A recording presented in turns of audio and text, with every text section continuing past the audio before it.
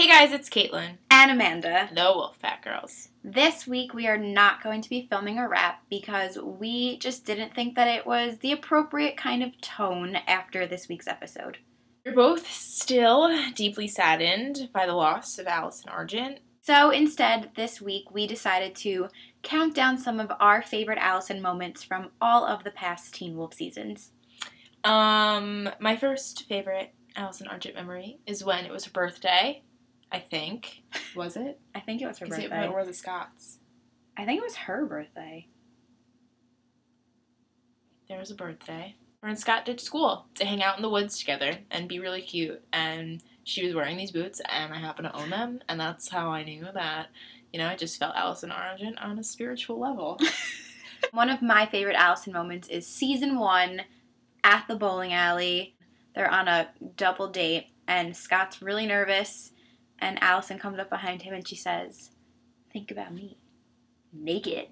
And I just thought that was so badass. Like, you go, Allison. Speaking of badass, another scene that we really liked is when Peter wants to talk to Lydia, but Lydia doesn't really want to talk to him, and Allison goes with her to Derek's loft, and she's like super badass and is like, Hell no, Peter, you're gonna listen to us, because I'm a bad bitch.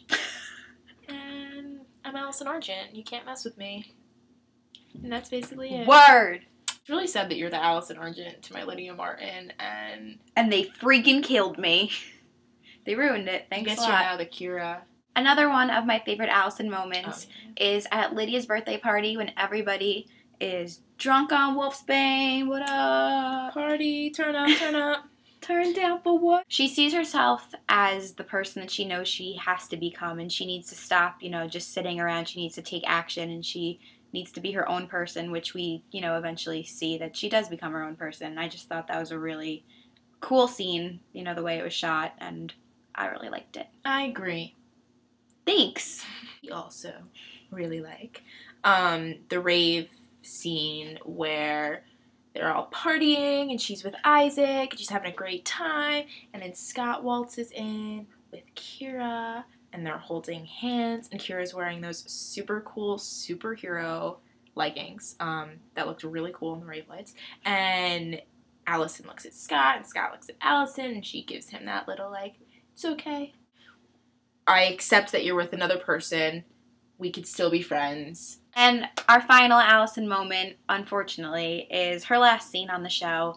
I just think that That whole scene, like from the beginning to like when they came there. I loved it because you saw how close everybody was, and you see how you know important Allison was to everything, and she died for her friends, and she died, you know, as a warrior, as she you know became to be, and I think that's I think that's heroic, When she got there, she said, I came to save my best friend.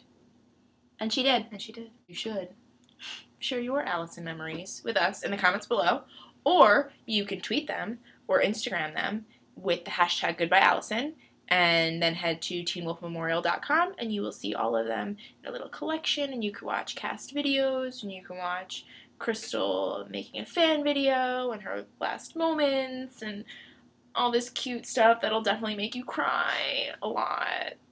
Because Lord knows we've cried a lot as well.